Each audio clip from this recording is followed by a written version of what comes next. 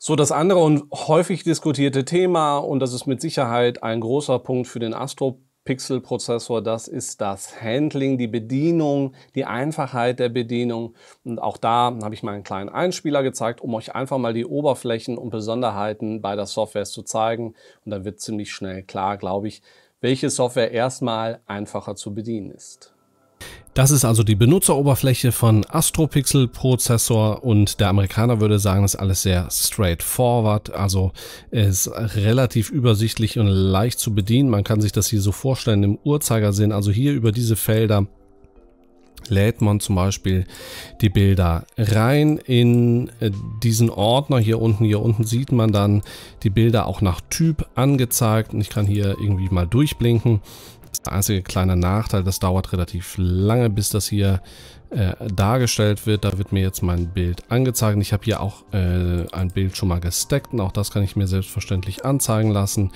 Hier finde ich dann auch alle möglichen Infos, wie zum Beispiel Isogain, Belichtungszeit und so weiter und so fort. So, hier kann ich die Bilder dann alle reinladen, Lights, Flats, Darks, wie sie alle heißen und so weiter und so fort. Und dann gibt es hier diese äh, Felder, wo ich dann Einstellungen vornehmen kann und was viele, ja, denke ich mal, gerne benutzen ist, wenn man hier auf den Reiter Integrate also das eigentliche Stacking geht, dann kann man hier quasi nach dem Laden der Bilder sofort auf Integrate drücken und alles, was man hier so an Einstellungen eigentlich von Hand vornehmen muss, wird dann automatisch aufgrund, sage ich mal, der Datenlage eingestellt und das finden natürlich viele Leute sehr einfach und toll.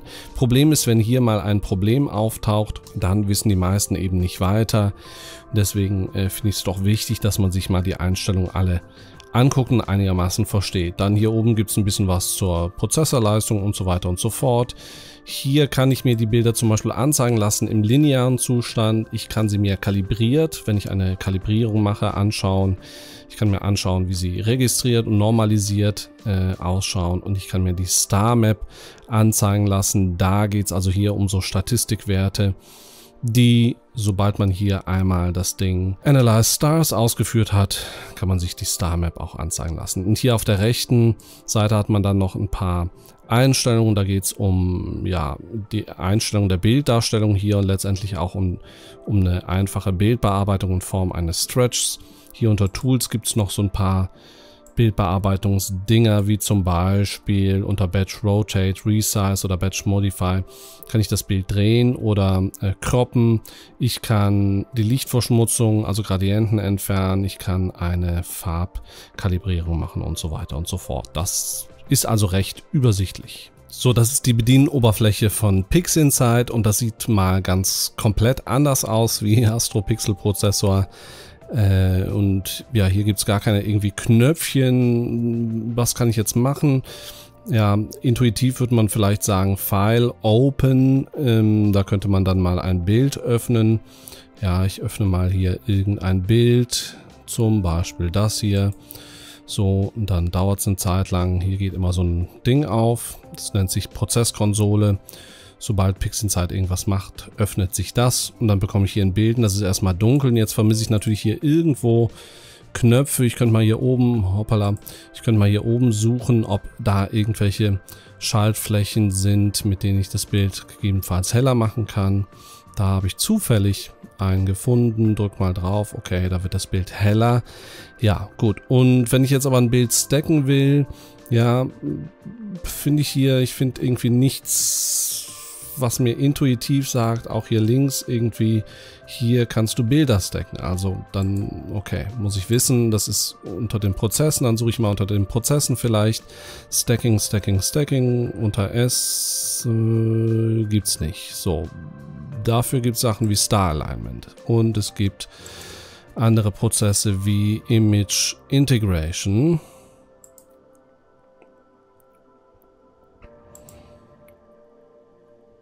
Und Image Calibration. So, was ich jetzt vorhin im Astropixel-Prozessor gemacht habe, das wird hier in einzelnen Prozessen dargestellt. Also ihr erinnert euch noch an diese äh, weißen Fe Felder im Astropixel-Prozessor, wo dann steht Integrate oder, oder Normalize oder was auch immer. Und das sind hier einzelne Prozesse, die ich also jetzt der Reihe nach durchführen muss. Und ihr seht schon hier, es gibt wahnsinnig viele Aufklappmenüs und unfassbar viele Einstellungen, von denen ich überhaupt gar nicht weiß, was die alle bedeuten. Und das ist die Sache eben mit Pixinsight, warum viele Leute sagen, ey, das kapiere ich einfach nicht. Das ist mir viel, viel, viel zu kompliziert. Ja, und kompliziert ist immer so ein Wort. Ähm, es ist halt einfach viel. So, es gibt aber ein Skript und das heißt, Weighted Batch Preprocessing, da vermutet man jetzt auch nicht unbedingt, dass sich dahinter ein Stacking verbirgt, aber wenn ich das mal öffne, dann wird, wird euch eher ein Licht aufgehen. Da werdet ihr eh sagen, ah ja, damit kann ich was anfangen.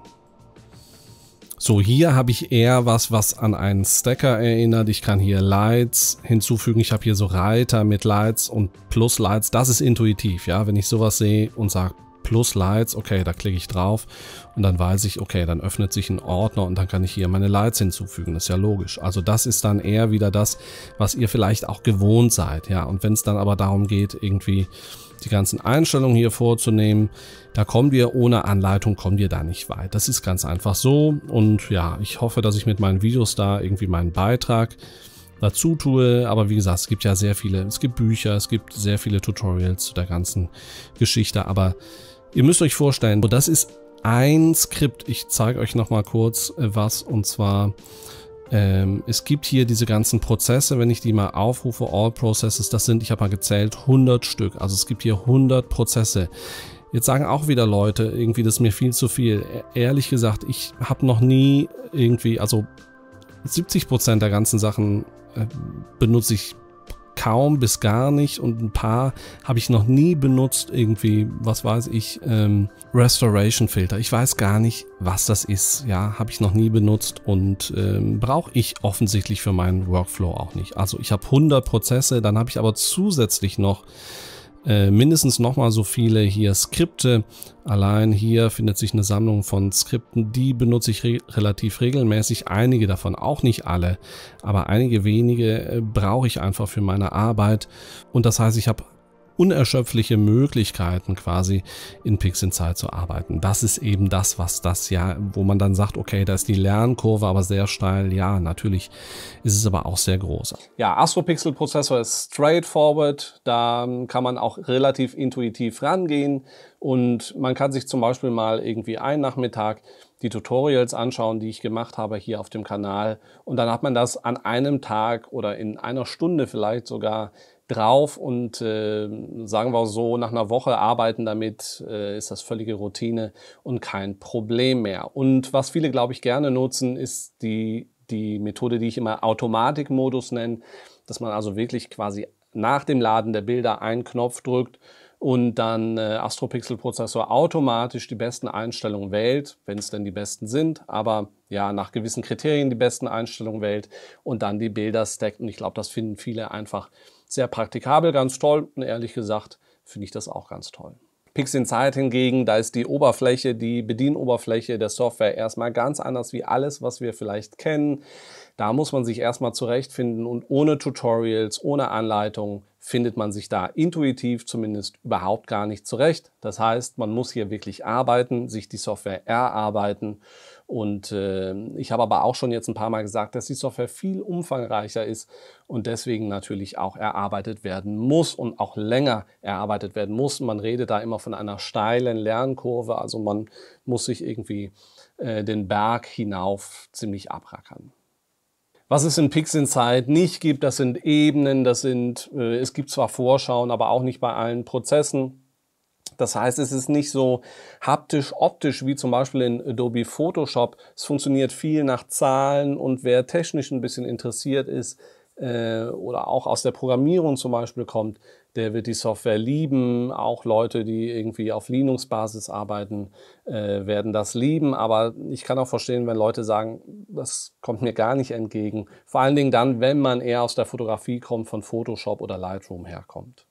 So, mal ein paar Besonderheiten. Für mich einer der tollsten Features in PixInsight ist die sogenannte Dynamic Background Extraction. Das ist, wenn man so will, das Herz der Software. Es gab früher eine Vorgängerversion von PixInsight, hieß PixInsight LE und das war nur dieser eine Prozess Dynamic Background Extraction und das ist für mich das beste Tool, was es gibt für die Gradientenentfernung. Das ist unschlagbar.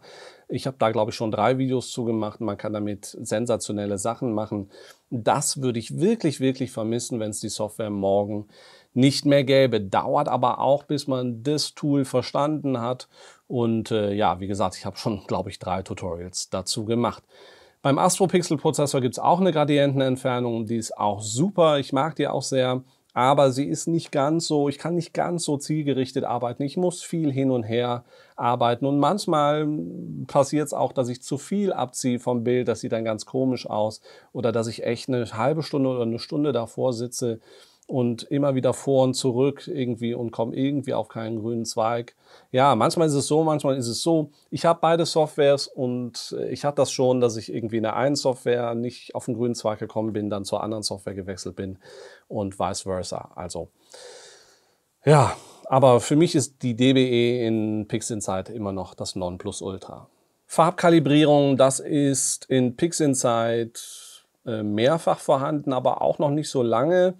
Also die von mir favorisierte B-V oder photometrische Farbkalibrierung, die gibt es auch erst seit ein paar Jahren. Dann gab es aber gleich zwei Tools, mit denen man das machen konnte. Es gibt nämlich ein Tool und ein Skript dazu und das funktioniert aber wunderbar. Muss man natürlich auch wissen, wie das funktioniert.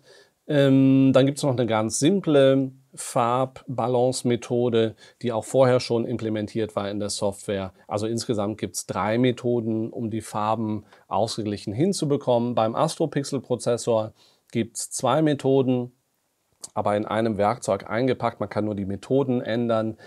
Und da habe ich so den Eindruck, also das muss man erstmal auch verstehen, wie das funktioniert. Und ich habe dazu auch ein Video gemacht und habe den Eindruck, hm, das benutzen nicht so viele. Also ich glaube eher, dass das nicht so häufig angewendet wird, weil es auch nicht automatisch ist. Man muss da also selbst noch so ein bisschen, das ist zwar physikalisch und photometrisch, man muss trotzdem irgendwie nach Augenmaß das machen. Das finde ich irgendwie unausgereift und mein Bauchgefühl sagt mir, ganz, ganz, ganz wenige nutzen das überhaupt nur. Hier würde ich mir eine automatische Farbkalibrierung so wie in PixInsight auch wünschen. So andere Besonderheiten, Kometenstacking zum Beispiel, können beide Softwares. In APP ist das noch nicht so lange implementiert in PixInsight weiß ich gar nicht, wie lange es das schon gibt, aber es gibt in beiden Werkzeuge zum Kometenstacking und das funktioniert, glaube ich, in beiden Softwares auch ganz gut und ganz gut nachvollziehbar auch.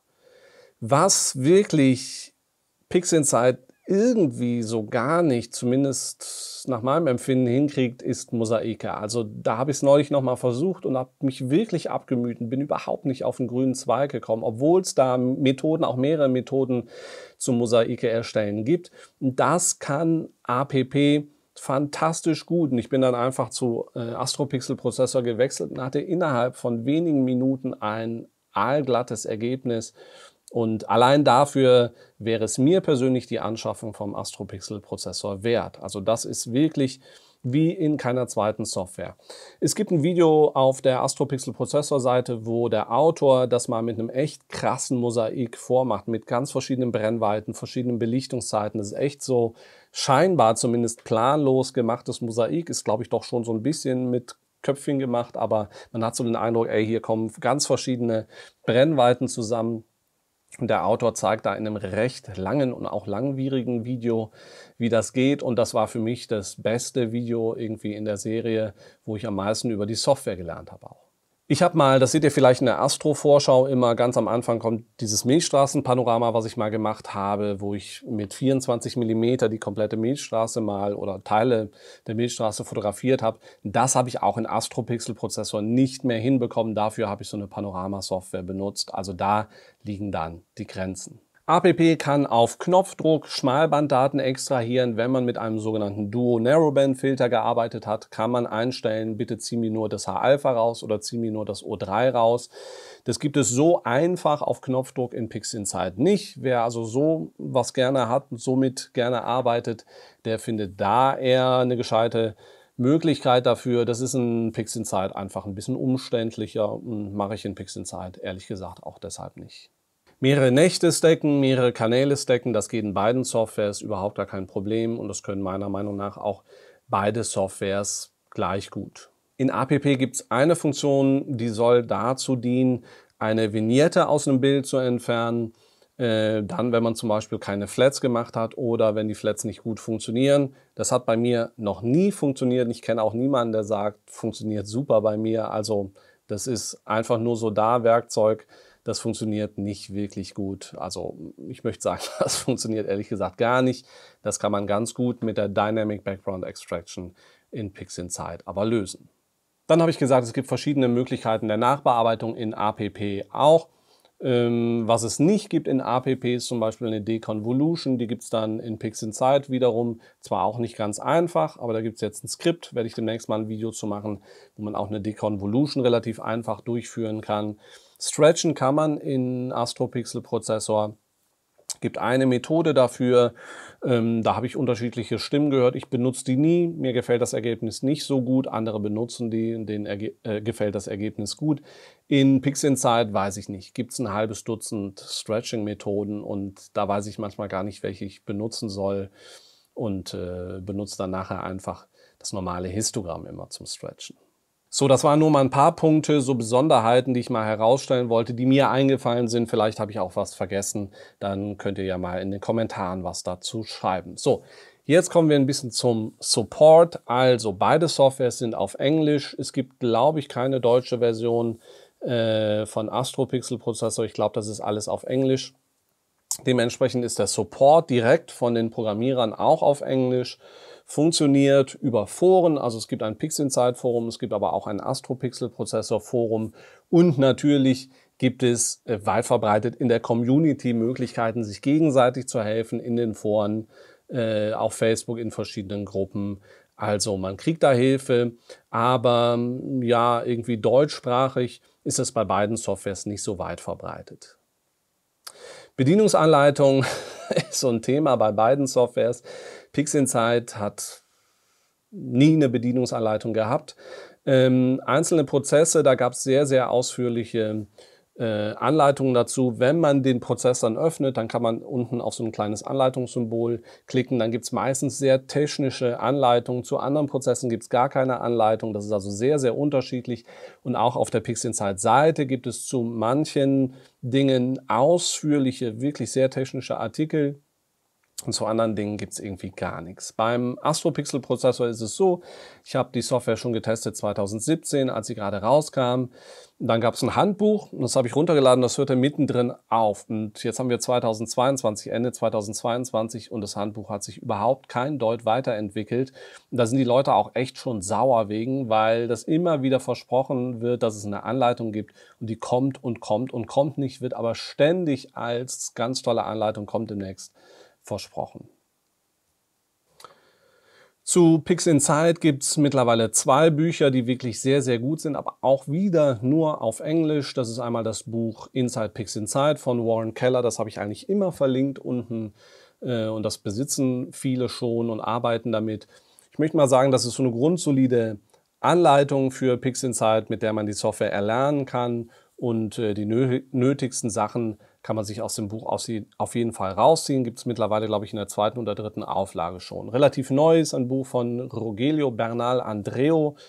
Das heißt Mastering PixInsight. Das sind genau genommen zwei Bücher in einem zum, und das ist wirklich die ultimative Anleitung für die Software PixInsight. Leider auch nur auf Englisch erhältlich und auch nur vom Autor privat. Also es gibt keinen Vertrieb. Amazon und so gibt's nicht. Und die, ich habe es nur digital, die ähm, äh, Transportkosten, Portokosten aus Amerika sind leider genauso teuer wie das Buch selber. Ich glaube, das Buch kostet 40, 50 Euro. Und dann würden die äh, Portokosten nochmal 40 Euro kosten. Deswegen habe ich es bisher noch nicht. Ich hätte es aber gern. Dann kann ich noch ein paar Internetseiten empfehlen ähm, für PixInsight, die Seite Light Vortex, da gibt's tolle Anleitungen äh, und viele arbeiten damit. Dann gibt's ähm, unglaubliches Ding ist die Seite von Adam Block. der wahnsinnig viele Videos zu PixInsight gemacht hat. Die sind allerdings nicht kostenfrei. Adam Block hat zwar auch einen YouTube-Kanal, wo er immer mal Videos hochlädt, die dann äh, natürlich frei sind, weil sie auf YouTube sind, aber das ist nur die Spitze des Eisberges. Die Masse an Videos, die äh, gibt es leider nur gegen Entgelt. Und das ist auch nicht gerade günstig. Ich habe den einen Kurs und finde es wahnsinnig gut. Man lernt da nicht nur viel über PixInsight, sondern grundsätzlich über, über die Technik dahinter und über Astrofotografie äh, generell. Und ja, kann ich nur empfehlen. Mache ich auch sehr häufig, ehrlich gesagt. Es gibt auf der Astropixel-Prozessor-Seite einige Videos, auch englischsprachige Videos vom Autor selber. Die sind zwar sehr langwierig, aber sehr gut auch. Dann gibt es was von iTelescope, das ist ein deutscher Astronom, der dort die Videos macht.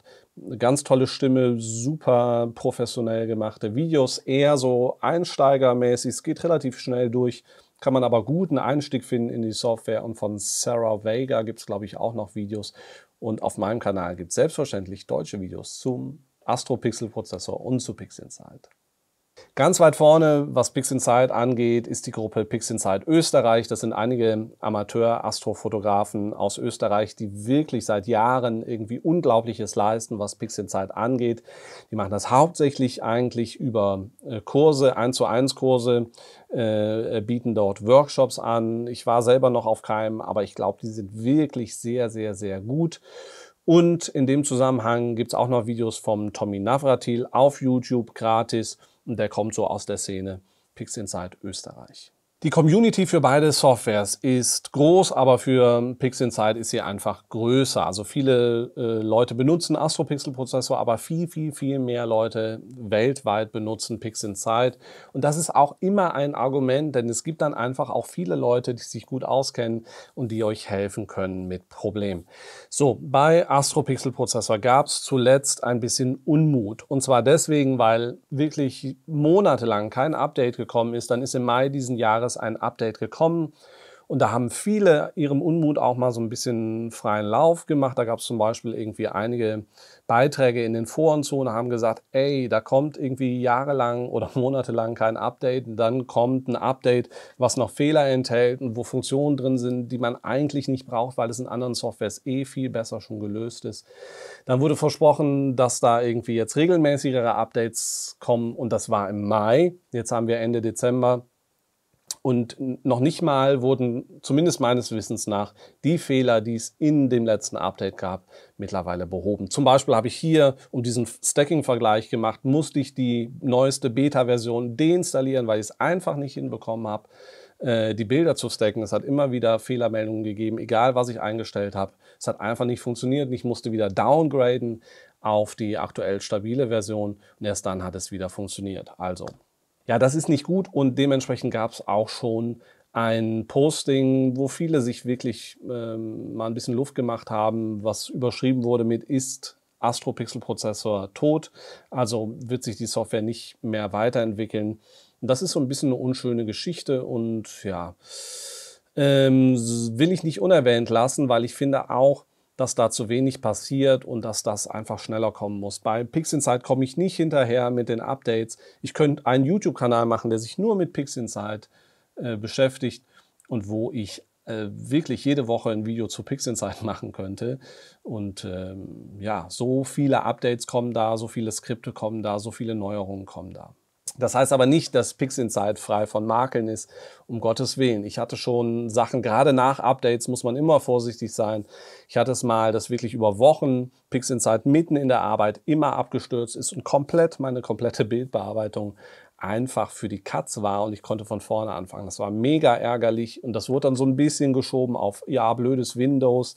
Wir arbeiten ja alle mit Linux. Ja, die feinen Herren Programmierer arbeiten mit Linux, aber die meisten Leute haben eben einen Windows-Rechner. So, es gab den Stacking-Vergleich, den habe ich jetzt gemacht. Ich habe für für oder wieder gesprochen, habe bestimmte Seiten beleuchtet beider Softwares ihr habt jetzt hoffentlich so ein bisschen Überblick bekommen darüber, wie beide Softwares funktionieren und was vielleicht die geeignete für euch ist. Ich möchte nichtsdestotrotz so aus meiner Sicht mal ein paar Empfehlungen geben. Grundsätzlich kann man sagen, PixInsight ist ziemlich umfangreich, andere würden sagen kompliziert und für Anfänger eher nicht geeignet. Es ist eine unglaublich mächtige Software mit vielen Funktionen und Anfänger werden ganz einfach erschlagen mit dieser Fülle auch an Fachbegriffen und so weiter und so fort. Und hier ist Astropixel-Prozessor in jedem Fall viel besser für Anfänger oder Leute, die so ein bisschen schon angefangen haben mit Astrofotografie.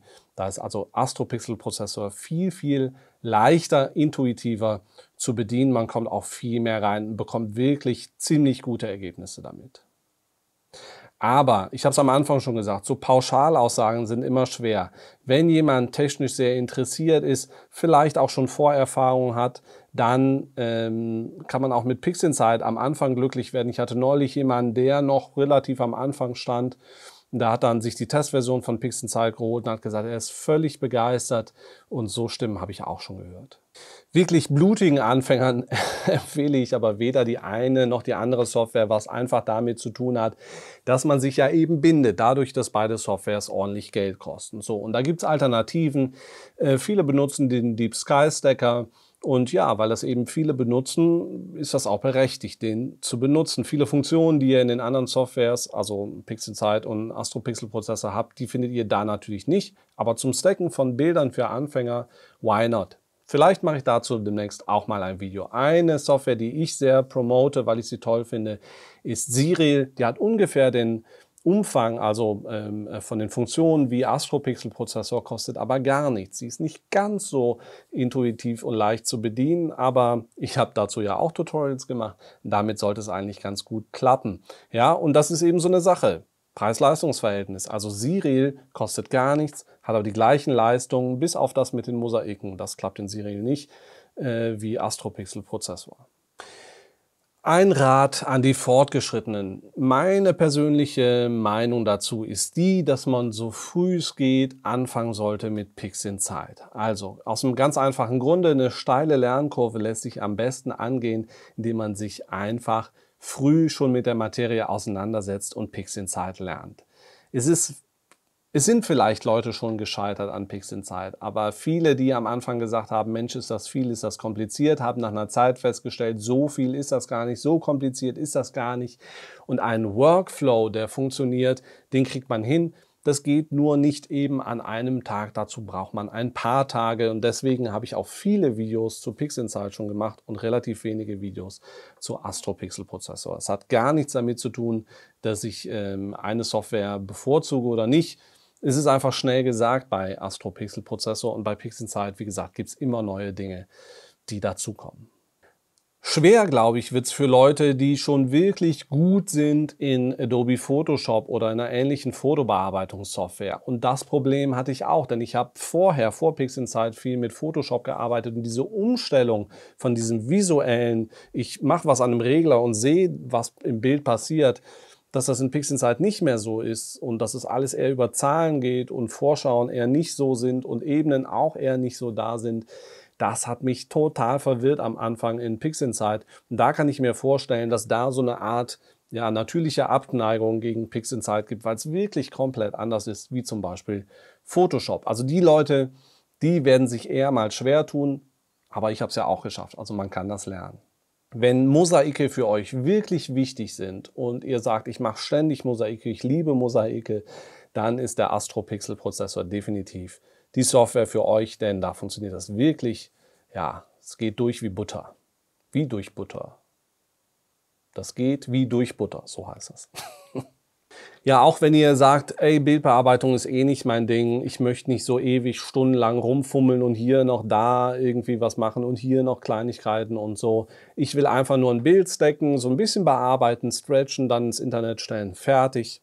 Astropixel Prozessor ist die Software für euch, ja. Und auch wenn ihr sagt, irgendwie, ich will wirklich nur auf einen Knopf drücken äh, und dann soll es losgehen, ich möchte am Ende ein fertiges Bild haben dann Astro-Pixel-Prozessor, nicht PixInsight. Da werdet ihr dann nicht glücklich mit. Aber da kommen wir wieder zum Punkt. Dann kann man auch mal Siri ausprobieren und spart sich das Geld für den Astro-Pixel-Prozessor. Also das würde ich dann auf jeden Fall einmal vorher ausprobieren. Aber wie gesagt, es gibt die Testversion von Astro-Pixel-Prozessor und dann könnt ihr beides nebeneinander mal testen. Und dann findet ihr das schon raus. Für fortgeschrittene Astrofotografen, manchmal auch Profis genannt, ist es eigentlich gar nicht mehr so eine Riesenfrage jetzt irgendwie, welche Software besser ist. Also Profis oder fortgeschrittene Astrofotografen, die geben natürlich nicht unnötig Geld aus, aber sie haben eine höhere Bereitschaft, mal Geld auszugeben für, sei es für Equipment oder für Software, ja, und sich dann eben zu committen, sich zu binden an ein Produkt, ja. Und dann ist es ganz einfach die Frage, welche Software liegt mir eher? Für einen Profi-Handwerker stellt sich auch nicht die Frage, wie mache ich ein Loch in die Wand? Nehme ich dafür einen Hammer oder eine Bohrmaschine, was der Anfänger vielleicht noch überlegt, ja, wie macht man das denn eigentlich? Äh, und für einen Profi ist das irgendwie gar keine Frage mehr, ja. Äh, um es wieder auf die Bildbearbeitung zu kriegen, ich habe schon eine Vision von einem Bild und weiß, was da am Ende ungefähr rauskommen wird. Also ich habe schon so ein Ziel, so ein Bild, während der Anfänger vielleicht noch ausprobiert und sagt, äh, spannend, ah, wenn ich hier drauf drücke, passiert das, wow, cool. Aber als fortgeschrittener Astrofotograf weiß ich das schon. Und da ist es nicht mehr die Frage, wie komme ich zum Ziel, sondern mit welchem Werkzeug ist es für mich am angenehmsten, am schönsten, am effektivsten vielleicht auch zu arbeiten. Das heißt, irgendwie Profis werden dann einfach schauen, irgendwie, was ist für mich ja die beste Software, womit komme ich am besten zum Ziel, was ich wie gesagt vorher schon im Kopf habe. Oder anders gesagt, ich werde mit der einen und der anderen Software, also mit der Kombination Astro-Pixel-Prozessor und zum Beispiel Photoshop, werde ich euch das gleiche Bild machen wie mit PixInsight und andersrum. Da werdet ihr nachher nicht sehen, aha, das hat er in der einen oder in der anderen Software bearbeitet. Der Profi-Handwerker, der überlegt sich dann, bohre ich das Loch in die Wand mit der Bosch oder mit der Festool-Bohrmaschine, ja. Aber ein Loch gibt es nachher in jedem Fall. Macht euch mal frei von dem Gedanken, dass ihr mit der einen oder anderen Software, mit der einen oder anderen Kamera, mit dem einen oder anderen Teleskop bessere Bilder macht. Ja, das ist einfach, das wird nicht passieren. Die Qualität eurer Bilder, das hängt letztendlich von, euren, von eurer Einstellung im Kopf ab und alles andere sind dann nur Werkzeuge. Klar, für den Anfänger ist es noch spannend, irgendwie die Werkzeuge kennenzulernen. Und wie gesagt, für den Profi ist das nur noch die Frage, nehme ich jetzt den Hammer oder nehme ich die Bohrmaschine? Ich komme auf jeden Fall zum Ziel. Ich hoffe, dass ich mit dem Video mal so ein bisschen zeigen konnte, dass weder die eine Software noch die andere Software besser stackt. Das haben wir jetzt, glaube ich, ziemlich eindeutig bewiesen, dass das auf gar keinen Fall stimmt. Ich hoffe, ich habe die Unterschiede und die Qualitäten der Software, Softwares herausgestellt und ich hoffe, es hat euch ein bisschen bei der Entscheidung geholfen. Wenn ja, hinterlasst mir ein Like, abonniert sehr gerne den Kanal. Wir sehen uns beim nächsten Mal wieder. Bis dann. Tschüss.